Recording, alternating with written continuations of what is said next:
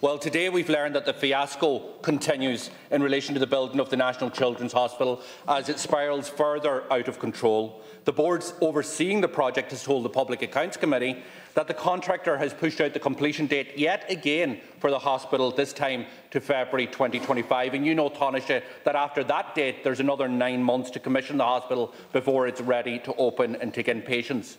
The chief officer of the board has told the committee that he can't even guarantee that that date will be met in the first instance. It is an absolute farce. And what have we learned today? We've learned that costs continue to spiral for the taxpayer, that no certainty when the hospital will be ready to treat patients, and promises that your government have given have been broken. And the safe bet now is that the hospital will not be open to patients until 2026. Well, I'm going to say to you, Deputy, um, that you need to be very careful in the sense that you're not being used as a pawn in terms of uh, a very strong and robust engagement between the National Paediatric Development Hospital, Hospital Development Board, the government, and BAM. Because all the deadlines that you came through with there are deadlines that BAM set um, inadvertently, or whether it's your intention or not. You're a pawn now of, in my view, of where the contractor wants this to go. That's what's going on here.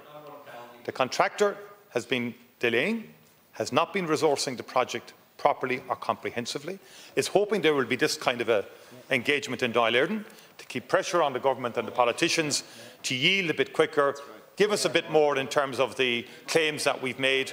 And you're playing that game, Deputy.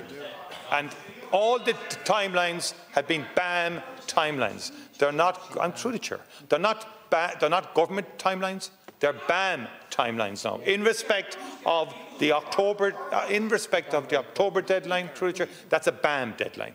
Uh, and all of, even this morning, what the chair is saying, BAM are indicating. You said it yourself. BAM are indicating.